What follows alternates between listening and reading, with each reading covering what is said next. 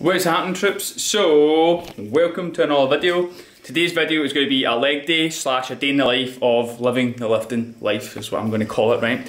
Because I live the lifting life now and it's amazing. Um, so basically, this video is again going to cover my leg day and I'm going to run you through exactly what I do, how I do it, why I do it, and again some kind of diet stuff that I do throughout the day and just other stuff that I do that kind of involves, I guess, the lifting life um, of kind of staying fit, staying active and also staying in shape. So when I say staying fit, the main thing I do to stay fit, fit is going to be like kind of one cardio session a week. But then eh, as well as that, I kind of do a lot of work focusing on kind of actually building my physique. Now, I wouldn't quite say I'm maybe bodybuilding the more I think about it, but I definitely am training for like aesthetics, trying to improve the way my physique looks. Because, you know what, that's just like what I like today, so hey ho. But anyway, let's go get into the video. Cue intro.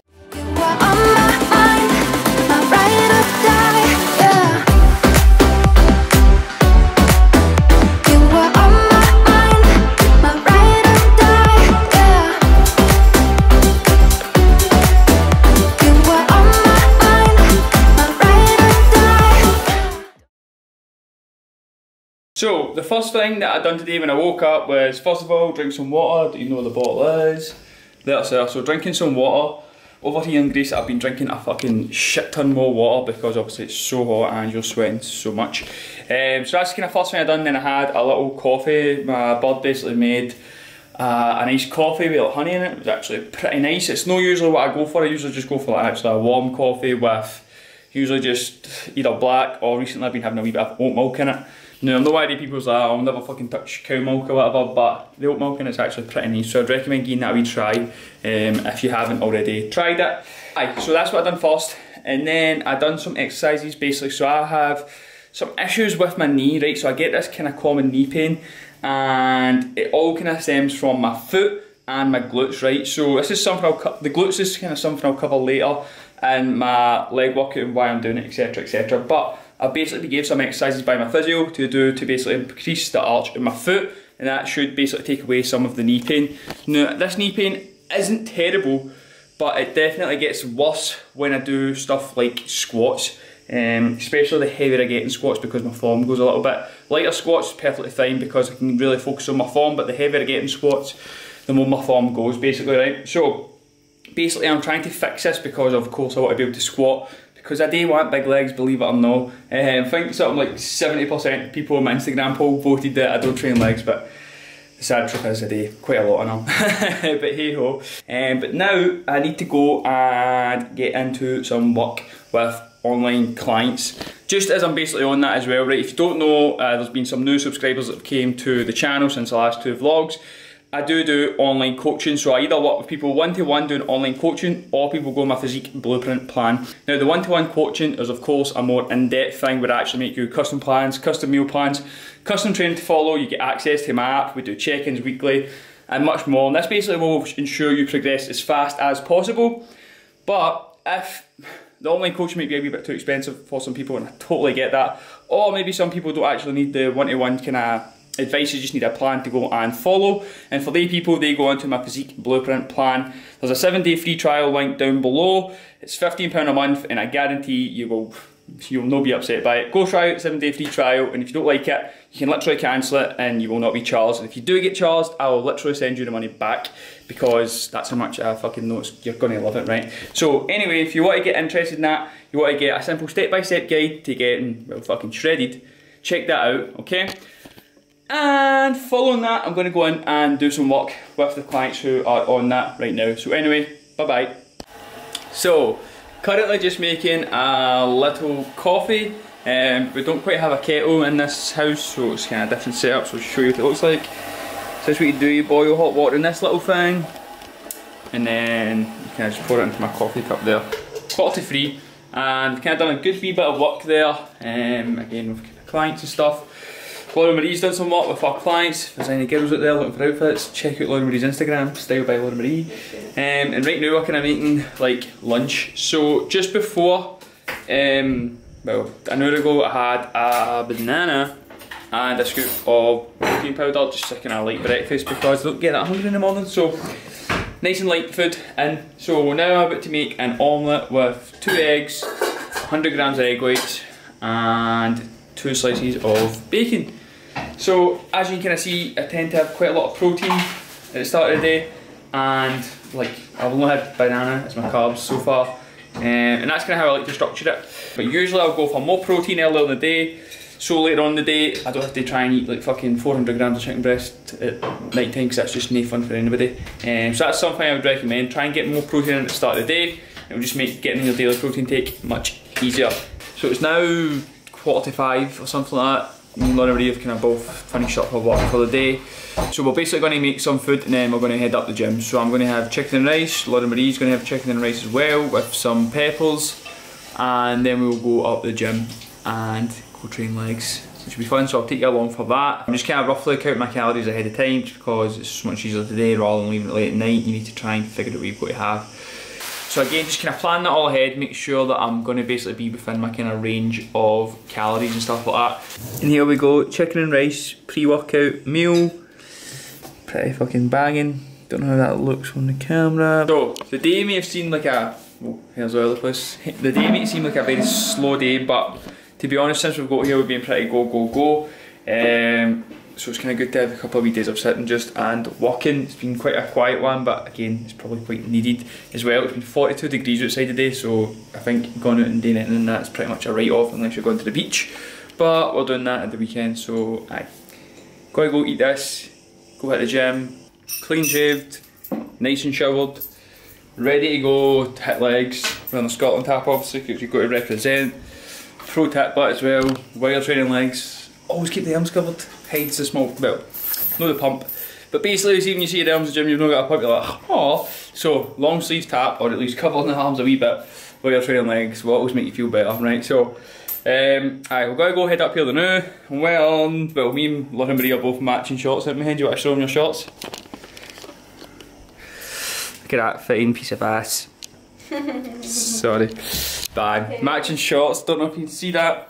Both Alphalete, both Arctic Camel, I believe they're called. But anyway, aye, gotta go and train legs. I guess I'll show you a wee bit of the fucking walk up that we need to make as well, and then I'll show you some of the leg exercises. Do you want to see Lauren Marie leg workouts? Comment them below and let us know if you do. It's happening. So, in the gym, renting the Scotland tap, fit to go train legs. Tunes in this gym are absolutely fucking banging, but, but let's go get in to this workout.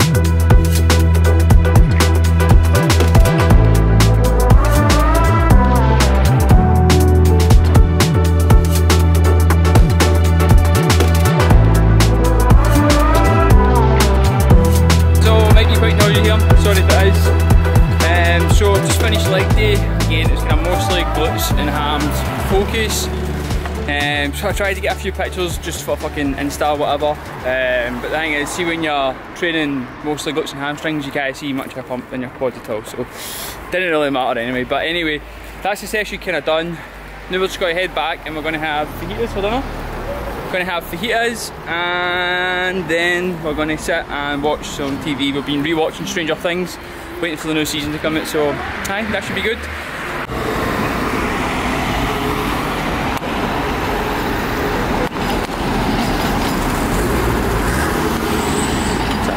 Was an army truck there. Um, so we're just home and the wonderful Laura Marie is currently making uh, dinner. And she's a fucking legend because she always makes all the meals. And I love you so much, Hen. Um, so I'm just going to answer some of the questions I got in regards to the um, questions I put on my Instagram, asking about any questions about leg day. Um, just while I'm on that, look at this bruise on my chest. That came from doing a bit of self-scraping. If you know what that is, it's basically something to try and get a bit of uh, congestion out of muscle. But anyway, get, let's get on to it. So the first one is probably the best one for my good mate Dylan. What's happening Dylan if you're watching this? Big calves, gains secrets. So if you know me, I've got pretty much no calves whatsoever. Um, so the big calf gains secrets, right? First of all, calves are going to be mostly genetic. Um, if you have big calves, you're being pretty much blessed with big calves. Anybody I know who has big calves doesn't train them or they train them very little because of always just have them. Your calves, as I say, are mostly genetic. The reason that is is because of the muscle fibres they are made up of, the way the calf works, right? So, for example, you have two types of muscle fibres, type 1 and type 2. Type 1 is essentially a like a, a, a fibre designed to kind of go constantly, right? And type 2 is a much more explosive version. Aye, hello, I just had to Google that just to make sure I was saying that right because I sometimes mix up the order names. Type 1 is again, it's a basically a slow twitch type muscle fibre that we call it, right? It's more efficient over a long distance. So again, your calf, right? If you think of it, your calf is getting used so much throughout the full day. So it doesn't really need to be a big strong muscle, it just needs to be a muscle that's good at going consistently, right? So then you've got a type 2 muscle fibre, so that's going to be something that's more like, for example, your quads, your chest, your arms, shoulders, okay, whatever. Now, uh, each muscle group has a mixture of them, but some have more of the other, and then some people also have more of the other as well. So some people, for example, Mo Farah will have more type 1 muscle fibres throughout his full body because he's basically just designed for fucking long distance running. Um, whereas if you look at, for example, Usain Bolt, he'll have more type 2 muscle fibres throughout his full body. Basically meaning he's much more explosive, that's why he's really fast at sprinting, okay? You probably find Usain Bolt probably isn't the best over long distance because of that his body type, and Mo Farah probably isn't that fast over a short distance. So, in regards to muscle building, type 2 muscle fibres will grow much quicker and much easier. Type 1 muscle fibres will grow very little, if any at all. So, to grow calves, it's a really, really, really hard process. They're not going to grow that much. Sadly, I wish I could grow them much more. That being said, though, you probably can add an inch or two onto your calves if you really train them. And how I would personally train calves is, first of all, load them up really heavy because they're carrying a full body weight, so they need to go heavy. Um, also, I would really focus on coming down really slow in the eccentric portion and put them into a fully stretched position because I'm not used to working in that all the time. Hold at the bottom for a wee second and then come up fast. So I would come down for one, two, three, get a full stretch, pause for one or two seconds and then come up fast. That would be my secret to getting big calf gains, but again, it's very, very hard to make big calf gains. The next question I got in regards to legs, well, in fact, in regards to the full muscles of your body is how much do you need to do to do enough? And that's a really great question, which has quite a long answer, but I'll gladly go into it for you. Now, first of all, it's going to depend on your training level. So if you're somebody very new to training, you're probably going to have to do about maybe 10 to 12 sets a week per muscle group to actually see adequate growth. That means uh, then moving on to kind of more intermediate, so that's maybe been training for a year, two years, two years kind of mark is going to be the more intermediate. You're probably going to have to hit about 16 to 18 sets roughly and then somebody a wee bit more advanced is going to be about 20 plus sets. Now the kind of ideal number is going to be about 20 right? So somebody who's been training for say at least three years four years I would always try and hit them with about 20 sets. Somebody who's more advanced they'll need to go kind of 20 just above 20 and you can spread that throughout the week. So for example if you're trying to grow your quads you would do say for example if you had two leg days you would do 10 sets that are going to affect your quads one day 10 sets are going to affect your squat uh, your quads the next leg day. So 20 sets overall throughout the full week is going to be the best, but again you have to adjust that depending on your training level. Next question I got was basically asking about how do you develop the teardrop muscle. So the teardrop muscle, if you don't know, is the kind of the inside of version of your quad. Most likely you'll know what the teardrop muscle is. If you don't, I'll put a picture up on the screen highlighting it right now actually. I'll put a picture up just now of my legs, basically showing you roughly what that teardrop muscle is. And maybe I have a wee bit, maybe I don't. Let me know in the comments down below. I'd love to hear you all slagging my legs again. You sh- fucking shits. Um, but how you would develop the teardrop muscle is training your legs. First of all, um, unilaterally, meaning one leg at a time, right? So I find this helps develop your teardrop muscle much better as the quad muscles kind of have to work much more and they activate much more, stabilising that kind of one leg. Also, that being said, you can also do a leg extension, but while you're doing the leg extension, if you imagine this, your foot going straight up and down, you would tilt your foot out to the side, and that's going to help you focus a little bit more on that sort of teardrop area. Aye. So that would be my kind of advice for focusing more on your teardrops. I do have one more question, and the the question wasn't quite clear what the boy was trying to say. Aiden Diamond, if you're listening, hello. Um, oh, there we go. I've just got he's just held back from right there. So I just had a chance to read over that question, speak to Aiden there, um, and is actually a pretty good question. So he's basically asking about an exercise I put up my story last week or the week before, and it's how do you go about doing the exercise for your hamstrings on the rower machine. So if you didn't see it, basically on the machine you would do cardio on the rower there is a hamstring exercise you can do in that, which I find really good to do at the end of workouts because it's kind of a burner, if you will, right? But I just feel you get a really good burn and squeeze at the end of it. And this obviously obviously doesn't mean it's a fucking good muscle exercise, but it's good to kind of burn out the muscle at the end, just to kind of take it to fatigue. Anyway, how you basically do this, right? In fact, you know what? I'll just put the video up as I'm kind of running over this right now. Hopefully, I can find it in my stories while I'm talking over this. So what you basically do is position yourself so your bum is essentially at the back of the rower machine. You would then put your heels onto the chair of the rower and dig your heels into it. From there, what you're going to do is you're going to elevate your hips until your hips are completely off the ground and there's a straight line coming down from your knees, through your hips, through to your shoulders. Then from there, you're going to hold your hips up nice and high and straighten your legs out as they're coming down. This is really, really hard to do as you've got to kind of control all the way down and you take that down to your legs are pretty much straight and then drive your heels back in towards your bum. At the same time though, you're raising your hips. Now this exercise is really great for your hamstrings for two reasons. Because it basically makes your hamstrings work over two joints, okay? So if you didn't know, your hamstrings are basically a muscle group that work, works over two joints. It's bilateral, uh, sorry, I can't remember the name. It's, it basically works over two joints, which most muscles do not. Works over your hips and at your knee. So by doing, keeping your hips up, you're basically making your hamstrings work by extending your hips and then also by bending your knee bringing heels towards your bums, uh, bum, bums, bum, your hamstring is also working there. So you actually get a peak contraction in your hamstring there. And it's honestly awesome. I would definitely recommend you try this out. Keep it to the end of the workout, but because it's hard to add any resistance to this, therefore meaning it's harder to make the exercise harder. So if you keep it to the end, it's usually body weight is pretty tough. But anyway, go check that out. And that is all for the questions. If you have any more questions, again, leave them in the comments down below and I'll be glad to help you out in the next video. Oh, how nice is this, right? So we've been landed with the fucking, the cutest wee... Post. Posts ever, right? Shout out to fucking wee Poppy. I think that's her name. It's either her or a man's name, but Poppy. Ah. No, she's Maria. Ah, Actually, Maria. Right, well, Maria and Poppy, man, what absolute legends. Look at this, what they've gave us. Now, it might not look mega appetising, but it smells nice. What did you, what you call it? I don't know. Something like for her. Tarty, isn't it? Ah, it looks like a tart, man. But oh, mate. Little does she know that we like to watch our waistline, but know what, mate? Life's too short not to be trying fucking cake that your wonderful host you, man. Um, this actually ties in really nicely with the video Living the Lifting Life because at the end of the day, right, wee things like that like a once in a lifetime opportunity. You can't say no to that because at the end of the day, what's it going to matter? I mean, that's however many fucking calories, it doesn't matter. You've got to enjoy wee things like that. Um, and not be too hard on yourself all the time. Unless you're maybe doing it for a certain reason, you've maybe got a strict reason to go and do it, aye.